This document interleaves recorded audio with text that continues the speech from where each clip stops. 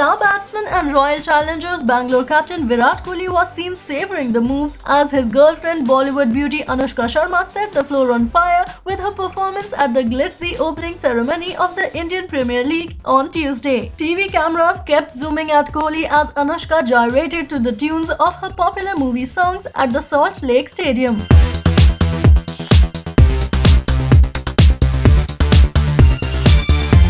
Well, thanks for watching this video. Now hit the like button and subscribe our channel to watch more. See you in the next video. Till then, enjoy.